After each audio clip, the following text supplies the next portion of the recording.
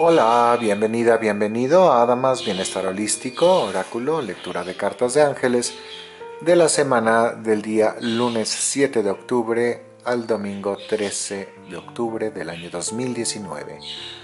¿Cómo te encuentras? Espero que te encuentres bien. Primeramente quiero agradecer a cada uno de ustedes que participa en Nada más Bienestar Holístico por sus comentarios, eh, mensajes, muchísimas gracias por compartir estos videos, los hago con mucho amor. Por favor compártelos para que la luz llegue cada vez a más y más personas y inunde de esta luz al mundo. Este, bueno, también en, en forma de comentario, quería comentarles, hay una serie mexicana en Netflix que se llama Monarca y la productora ejecutiva, o sea, la productora de la serie Salma Hayek. Eh, y está muy buena la serie. Eh, hasta ahorita llevan hecha la temporada 1, la temporada 2 ya viene en camino. Y bueno, este, para quienes tengan la posibilidad de verlo, pues uh, véanla, está muy buena, a mí me encanta. Y para los que están fuera de México, pues pueden conocer un poquito de México. Este, eh, es algo, una historia ficticia, pero está muy bien llevada y pues ves algunas partes de México, ¿ok? Bueno, empecemos con la lectura y la interpretación de las cartas. Como sabes, empiezo con las de Doreen Virtue, de la Virgen María. Y uh, esta semana uh, cumplen años varias personas que conozco. Entonces, bueno, ahora sí que tengo mucha curiosidad por saber la carta adicional es para todos nosotros, pero muy en especial para quienes celebran su cumpleaños o celebran algo. Entonces vamos a ver cómo se van dando las cartas y desarrollando.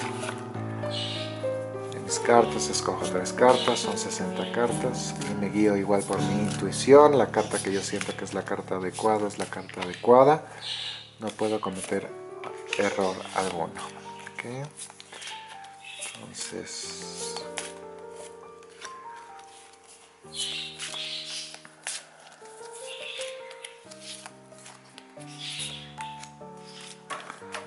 Muy bien. Y de las cartas de Torin Virtue de los unicornios mágicos, voy a sacar una carta que es la carta adicional que acababa de comentar. El unicornio representa el poder, ¿no? de que uno puede de que tiene todas las habilidades, capacidades y virtudes para hacer las cosas. Y hoy me latió, como se dice aquí en México, hoy mi intuición me dijo que estas, tomará estas cartas como cartas adicionales. Muy bien, empecemos con la lectura y la interpretación de las cartas. Voy a hacer la cámara un poquito más para atrás todavía. Ahí está. Ah. Muy bien. Bueno, veamos cómo se van dando las cartas y cómo se van ligando los mensajes. La Virgen María nos quiere dejar saber para esta semana lo siguiente. Miren qué tal nuevamente la carta de la semana pasada. Está chistoso, ¿no? Marriage, eh, que es matrimonio. Entonces, bueno, la voy a volver a leer y voy a hacer el mismo comentario. Y dice, I make a commitment to a healthy relationship with God, myself and my partner. Yo hago, me comprometo a tener una relación sana con Dios, conmigo misma, conmigo mismo y con mi pareja. A mí me llama muchas veces la atención cuando eh, los mensajes son repetitivos, ¿no? Como en este caso, pues las de Doreen Virtue son 44. ¿Y cuál es la posibilidad? Que en las dos tiradas, la de la semana pasada y la de esta semana, este, salga la misma carta, ¿no? De 44 cartas.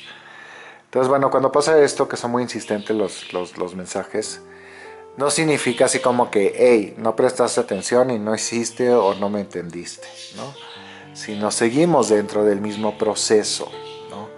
Y como comenté la vez pasada, este, para mí en lo personal, cuando veo eh, que dice matrimonio, eh, tiene que ver con la unión, ¿no? De que nos unamos como humanidad, de realmente hacer un compromiso eh, comunitario y en servicio a la comunidad. Yo así lo entiendo. Si te acuerdas, en el oráculo eh, anual también eh, nos están pidiendo ser auténticos, ¿no?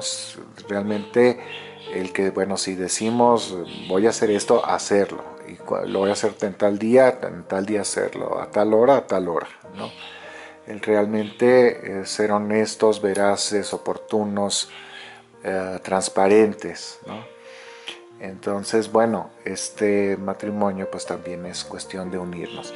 Y si ves, igual lo voy a comentar como en el video pasado, si ves las sociedades en Estados Unidos, los demócratas y republicanos y toda la población está totalmente distorsionada. Y um, estratégicamente Trump pues utiliza esto para su campaña política y la nueva elección para el próximo año. Pero no es el único, hay varios que hacen esto. Entonces, este, políticamente, de, eh, deshacer a la, a la, población y de que realmente estén peleados, ¿no? Y conozco casos, desgraciadamente, donde se han peleado al grado dentro de la misma familia que se dejan de hablar y están peleados de por vida. Y digo, es bueno tener pasión ante la vida, pero en este caso no creo que sea muy sano llevarla a esas consecuencias. Entonces, bueno, nos está pidiendo unirnos como humanidad. Entonces, eh, bueno, pues eh, tenla en cuenta. Para el día lunes y martes, la carta dice fe. Y es el arcángel Miguel. Y dice, arcángel Miguel, mi fe en Dios, los ángeles, la vida y mí misma, mí mismo, es inquebrantable. Es el pacto de luz con la existencia confío, fluyo y brillo en paz. Amén. Entonces, bueno, he hecho en videos anteriores la comparación de, que la fe realmente es inquebrantable, ¿no? Y hay eh, una certeza absoluta en la fe. No, no entra la duda. Cuando entra la duda es parte del ego y entonces pues ya como que se va quebrando el asunto, ¿no? Es como el, pues sí, sí, sí, sí hago tal por si las flies, se dice aquí en México, ¿no? Por, por si las moscas, por si alguna superstición, ¿no? O sea, más vale que lo haga, no vaya a ser que si no lo hago entonces no se llegue a cumplir. Pero no hay una fe absoluta, o pocas veces, ¿no? Y la fe es tener la certeza de que, bueno, pues si hago esto, pues pasa esto, y si pido esto y decreto esto, pues se manifiesta esto, y no tengo duda alguna, ¿no? Entonces eso es mantener la fe en alto, ¿no? estar totalmente seguros de que confiamos en la corte celestial, de que todo está bien, de que todo fluye y que todo está en paz, todo está bien. ¿ok? Para el miércoles y el jueves la carta dice liberación.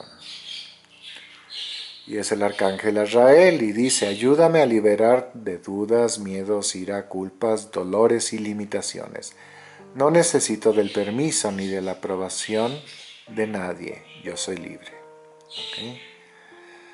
Entonces, bueno, esto todo tiene que ver con las emociones y los pensamientos negativos, el liberarnos de ellos, decir ya, basta, ¿no? Y muchas veces pasa esto, ¿no? Que desde infancia tal vez tuviste a padres que fueron muy estrictos y pues no te permites muchas cosas porque pues creciste dentro de esa rigidez y, es lo, que, lo, lo, conocido, es la zona de confort, aunque sea algo desagradable, pero es una zona de confort por ser lo conocido. Entonces, bueno, me libero, ¿no? Veamos, para el viernes, sábado y domingo, la carta dice sensibilidad. Y dice, Arcángel Janiel, que es el arcángel de la alegría, o también se llama Anael. Dice Arcángel Janiel, ayúdame a contactar con mi energía femenina para que a través de ella experimente sus virtudes, comprensión, dicha, amor, arte y unión. Si notan aquí nuevamente está la palabra unión, ¿ok? Entonces, yo como siento que se va a desarrollar esta semana es justamente el unirnos como eh, humanidad, el, sentido realmente de hermandad. Aquí en México, desgraciadamente, hemos tenido dos temblores sumamente fuertes. Este, el del 85 y luego el del, creo que fue el 2015, que fueron casi de 8 grados, la verdad ya no me acuerdo. Pero hubo una destrucción muy fuerte de varias viviendas, hubo muchísimos muertos. Fue una situación terrible, sobre todo en la Ciudad de México. Ah, pero el pueblo se unió, ¿no? Había cadenas de personas ayudando, ah, unos dándole eh, cobijo a las personas, otros haciendo de comer para los que estaban escarbando y ayudando a los otros. Toda la sociedad se unió y se sintió una hermandad extraordinaria. Esto es lo que deberíamos de vivir todos los días. Y hay personas que dicen, bueno, es una utopía, ¿no? No se puede. Claro que sí se puede. Provenimos de la luz, provenimos del amor incondicional. Entonces, a mi gusto, justamente conectándonos con la fuente a través de nuestra fe inquebrantable, sabiendo de que todo está bien, liberándonos ya de nuestro pasado, de todos los pensamientos negativos, de todos los estigmas de que no, no es posible, eh, ha sido así, va a seguir siendo así, bla, bla, bla, ¿no? Todos los miedos de que qué pasa si hago esto, entonces sacar todo eso.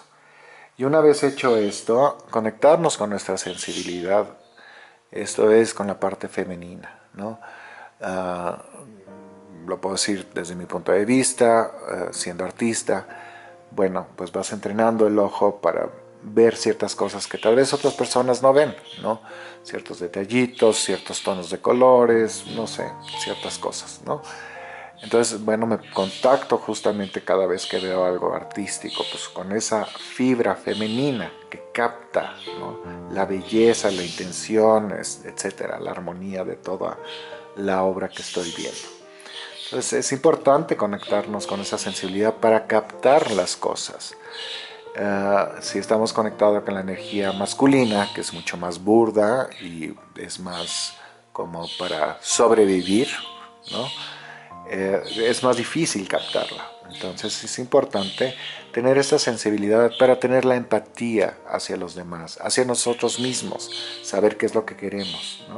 Entonces yo creo que es eso, el conectarnos con nosotros mismos y a través de esa conexión con nuestro yo interno, con nuestra alma, con nuestra esencia, expandir esa luz hacia afuera y brillar y contagiar a los demás y a través de esta luz eh, se crea unión, unión. Ahorita acabo de visualizar, es como si prendieras aquí una luz y aquí prendes una luz y aquí prendes una luz y prendes tantas luces que de repente ya no ves las luces individuales, sino simplemente ves luz. Eso es lo que nos están pidiendo. ¿Ok? Bueno, muchas felicidades y bendiciones a quienes celebran algo. La carta adicional dice lo siguiente. Wish upon a star haz un deseo a una estrella. Eh, haz un deseo en realidad es la, la, traducción. Y dice, make a wish and expect the very best. Haz un deseo y espera lo mejor. ¿Ok? Entonces, bueno, ah, yo creo que está bastante claro. Para las personas que están con miedos de exámenes médicos o de otra índole, ¿no? donde están esperando un resultado de algo, un veredicto.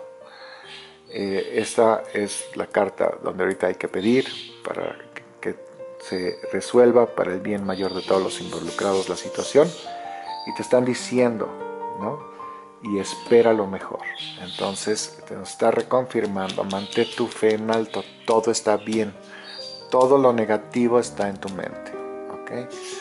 Sácalo, no sirve, ¿no? Ya el aprendizaje ya lo tienes. Entonces ya es momento de actuar de acuerdo a lo aprendido, ¿ok? Bueno, muchas gracias. Este, voy a hacer esta semana también un video todavía para la semana que sigue.